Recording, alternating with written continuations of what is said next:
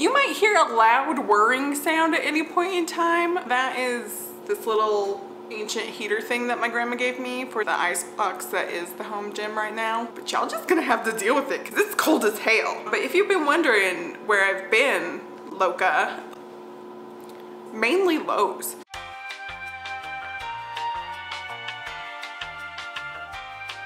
I've been trying to like expedite the process to getting my house moving ready.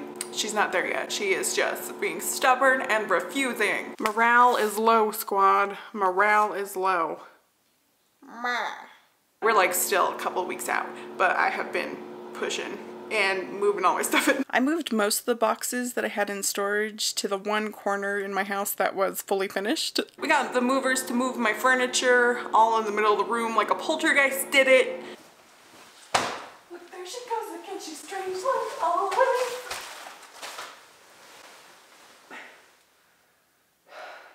I'm just anxious and excited to get in there. Mostly excited. I just like need this next step to happen kind of thing. The closest thing that I can say it's like is basically you're driving home, right? And the urge hits you and you need to go to the bathroom like now. But you're too poo shy to use a public restroom. So you risk it all and see if you can wait till you get home. At no point in the journey is it as bad as when you make the turn down your street when it's like life or death. The urge is dire. Like you're white knuckling the steering wheel, breaking out in a cold sweat, praying to the heavens. Time like slows down, you're hyper vigilant of all of your surroundings. But like you're still maintaining the speed limit because the only thing worse than shitting your pants as an adult is simultaneously committing vehicular homicide.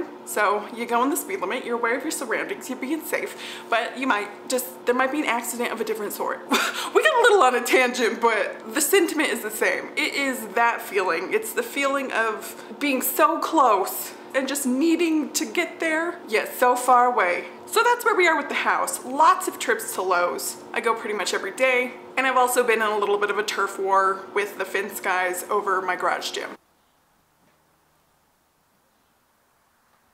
So you can't really even walk in here that great. They keep encroaching on my space and I did something really petty, y'all. I like moved all their stuff to one corner and I set up a barrier of exercise mats so they couldn't, so they couldn't like encroach on the home gym again. I don't think they know that we're in a turf war, but I am never gonna say anything. But for Black Friday, I bought a bunch of new workout equipment, a squat rack slash bench thing, bunch of plates, a barbell. We're gonna start really getting into weightlifting and I am excited about that. But we have to assemble all of the stuff and I finally cleared out a big enough space to get this gravy train rolling. So let's assemble.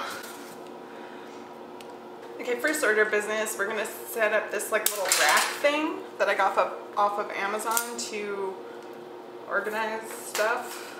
And the only tool that I currently have right now is some craft scissors that I stole from my mom.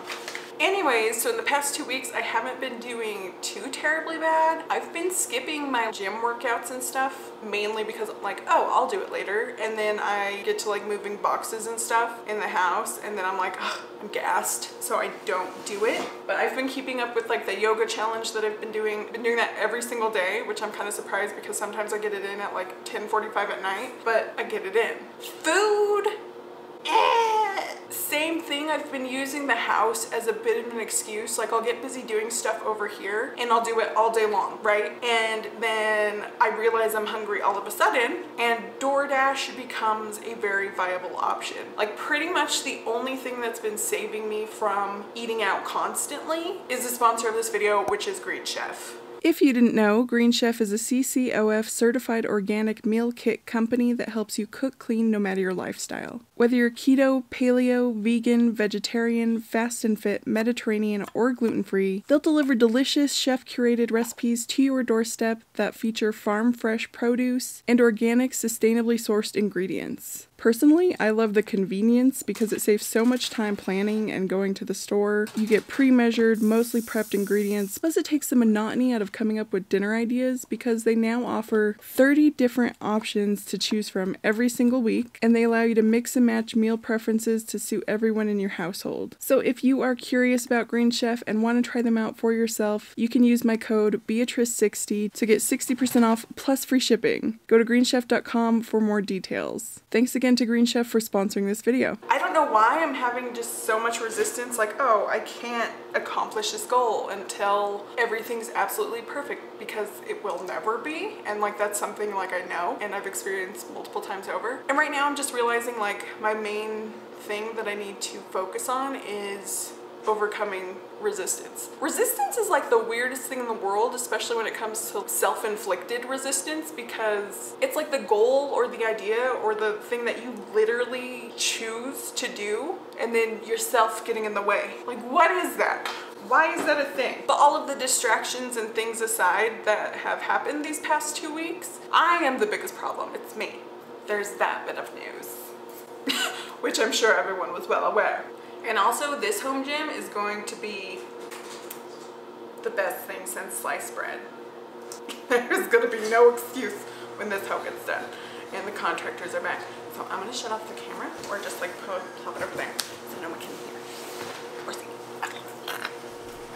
This corner rack thing I might actually end up putting in the house because it's meant to hold yoga mats and other small things. Plus I got this other weight rack, which had the most confusing directions ever, and I had to put it together and take it apart three times before I actually got it right. And also the contractor came in just in time to see me drop it on my head. Did you want that other cabinet up that you brought from the other house then? Oh! You alright? yeah, it didn't hit me. I caught it in time. But, um... Or do you want to keep it? The one that one that has a chunk out of it? Yeah. I guess broken up. But that's okay because eventually I figured it out and moved on to the Grand Poobah, the squat rack slash bench thing, which was the fastest to put together until I realized when I had to tighten the bolts that I did not have the proper tools for that.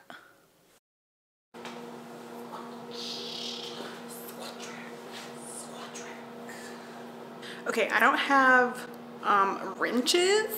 For some reason, this was the most expensive thing that I've been putting together all day. This squat rack and everything else came with the proper like little tools but this did not and the tools from the previous things don't fit it. So we need to go to Lowe's again. Haven't gone today. The universe knows it.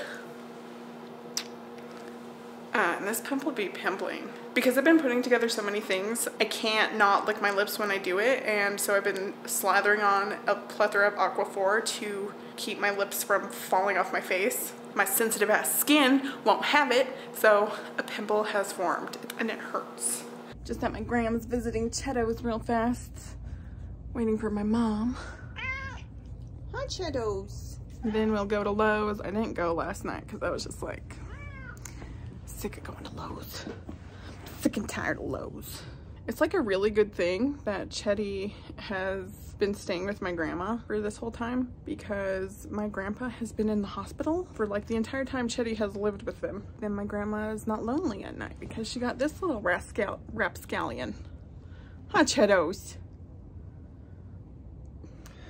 Why are you being like that? oh. He's just still in the hospital. It's just like one thing after another. Like it's one thing is resolved, it's another thing. He's been there for since before Thanksgiving at this point. So I went to Lowe's, got the wrenches, and tightened these hose.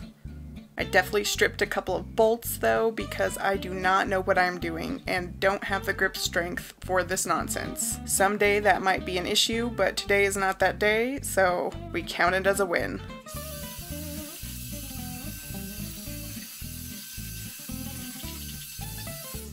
Leaf blower instead of a broom is a game changer. Just letting y'all know.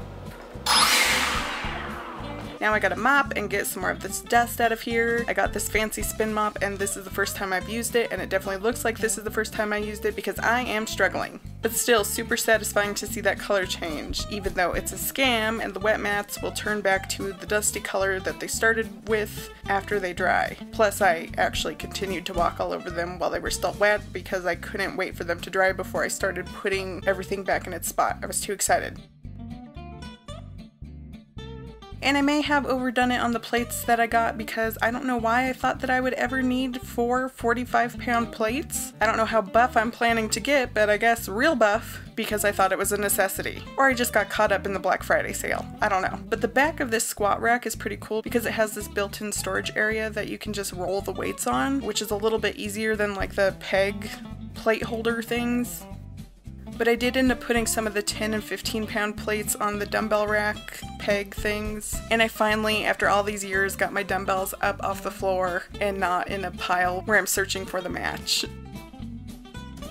This bar says to peel the tube like a can of biscuits.